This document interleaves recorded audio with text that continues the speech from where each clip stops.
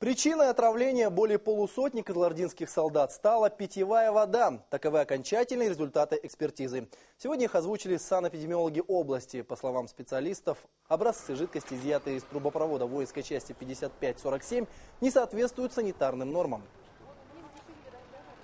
Э, Мы э, порядке значит, просьбы военной прокуратуры, просьбе значит, военных эпидемиологов э, день отравления взяли 7 проб воды. Э, Все они не соответствуют санитарным требованиям по показателям общих калиформным бактериям. И третий эпидемиологический анализ э, вокруг этой воинской части жителей Козлозорны регистрации подобного заболевания не было. Как заверил главный санэпидемиолог области, дезинфекция трубопровода воинской части уже началась, а со следующей недели специалисты очистят воду и в самом пригороде. Напомню, в понедельник в областную инфекционную больницу с диагнозом кишечная инфекция попали сразу 52 военнослужащих. Они сейчас находятся под наблюдением врачей.